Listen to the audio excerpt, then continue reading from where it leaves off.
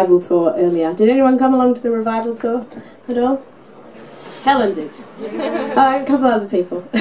um, I first started playing this song live on the revival tour, and me and John Gaunt, who's the um, fiddle player in uh, Chuck Ragan's band, we had he thought I was saying every time I introduced this song, Cheese Day, Cheese Day. So it um, lovingly became known as Cheese Day, but just to set the record straight, it's it's Tuesday. what is today? Tuesday. Wednesday. And is oh no. No, it's not. Oh, what a shame.